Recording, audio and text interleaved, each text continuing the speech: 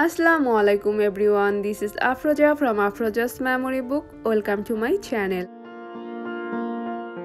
আজ আপনাদের সাথে শেয়ার করব ঝটপট বানানো যায় এমন একটি রেসিপি রেসিপিটা হচ্ছে আলুর পেঁয়াজু কিংবা আলুর পাকোড়া। যে যেই নামে এটাকে ডাকেন না কেন, এটা কিন্তু খেতে খুবই মজা আর হলো বানাতেও খুব সহজ।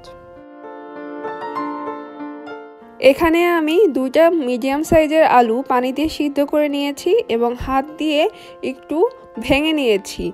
কিন্তু পুরোপুরি কিন্তু ম্যাশ করে দেই নাই। আলুটাকে পুরোপুরি ভর্তা করা যাবে না। ভিতরে যাতে লামস থাকে, এরকমভাবে হাত দিয়ে ভেঙে নিতে হবে। অ্যাড করে দিচ্ছি স্বাদ মতন কাঁচামরিচ কুচি।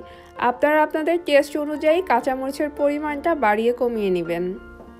অ্যাড করে দিচ্ছি এক কাপ পেঁয়াজ কুচি। পেঁয়াজটাকে আমি একটু মোটা করে কেটেছি, আর যেহেতু পেঁয়াজও বানাচ্ছি, তাই পেঁয়াজের পরিমাণটা একটু বেশি দিচ্ছি। অ্যাড করে দিচ্ছি স্বাদ মতন ধনিয়া পাতা কুচি। ধনিয়া পাতাটা আপনারা নিজেদের মতন অ্যাডজাস্ট করে নেবেন। আমার ধনিয়া পাতার ফ্লেভার খুবই পছন্দ, তাই আমি একটু বেশি দিচ্ছি। এখানে আছে এক চা চামচ ধনিয়া গুঁড়া, হাফ চা চামচ হলুদ গুঁড়া, এক চা চামচ লাল মরিচের গুঁড়া, এক চা চামচ ভাজা জিরা গুঁড়া। এখন সব গুঁড়া মশলাগুলোকে আমি অ্যাড করে দিচ্ছি।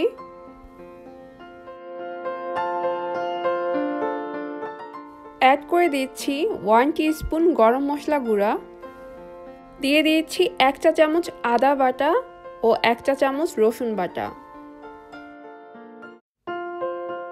দিয়ে দিচ্ছি দুই টেবিল চামচ চালের গুঁড়া। চালের গুঁড়াটা আপনারা অবশ্যই দেওয়ার ট্রাই করবেন। এটা কিন্তু পাকোড়াটাকে ক্রিস্পি করতে সাহায্য করে। দিয়ে দিচ্ছি এক কাপের মতন বেসন। অ্যাড করে দিচ্ছি স্বাদ মতন লবণ। লবণটা দিয়ে সবশেষে অ্যাড করে দিচ্ছি সামান্য বেকিং সোডা বা খাবার সোডা এটা অপশনাল চাইলে আপনারা স্কিপ করতে পারেন।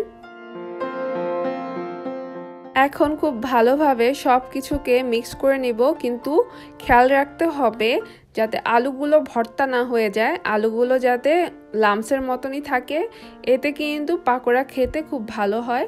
ভর্তা হয়ে গেলে পাকোড়াটা একদমই ভালো হবে না। তাই শুকনো মশলাগুলোর সাথে আলুর মিশ্রণটাকে খুব ভালোভাবে সময় নিয়ে মিক্স করে দিচ্ছি। এখন পাকোড়ার মিশ্রণ তৈরি করার জন্য অ্যাড করে দিচ্ছি সামান্য পানি। আমি এখানে টোটাল দুই টেবিল চামচের মতন পানি ইউজ করেছি। আপনারা বাড়িয়ে কমিয়ে পানিটা ইউজ করবেন, একসাথে বেশি পানি দিবেন না। যতটুকু প্রয়োজন ততটুকুই পানি বারবার দিয়ে অ্যাডজাস্ট করে নেবেন। পাকোড়ার মিশ্রণটা একদম রেডি হয়ে গেছে। দেখতে পাচ্ছেন যে হাত দিয়ে ধরে কিন্তু পাকোড়া শেপ করা যাচ্ছে। তার মানে মিশ্রণটা পাকোড়া বানানোর জন্য একদম রেডি এখন চলে যাব পাকোড়াগুলোকে তেলে ভাজার জন্য। পাকোড়াগুলো ভাজার জন্য অ্যাড করে দিচ্ছি পর্যাপ্ত পরিমাণে সয়াবিন তেল। এ পর্যায়ে চুলার ফ্লেমটা মিডিয়াম হাই হেটে রেখে আমি পাকোড়াগুলো ভেজে নিব। তেল গরম হয়ে আসলে এক এক করে পাকোড়াগুলো তেলে ছেড়ে দিচ্ছি।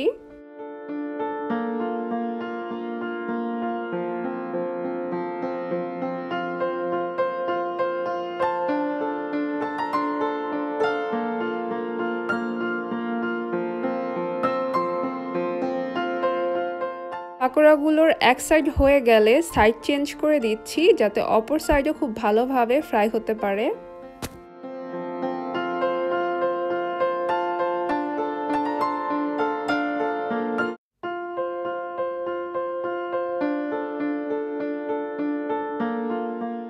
পাকোড়াগুলোকে আমি গোল্ডেন ব্রাউন করে ভেজে নিচ্ছি। গোল্ডেন ব্রাউন করলে পাকোড়াটা খেতে বেশি ক্রিস্পি হয়। পাকোড়াগুলো একদম পারফেক্টলি ভাজা হয়ে গেছে। এ পর্যায়ে আমি সবগুলো পাকোড়া তেল থেকে তুলে নিচ্ছি।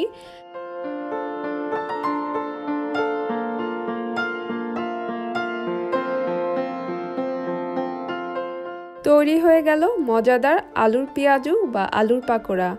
এটা কিন্তু বিকালের নাস্তা কিংবা ইফতারে খেতে খুবই মজার লাগে।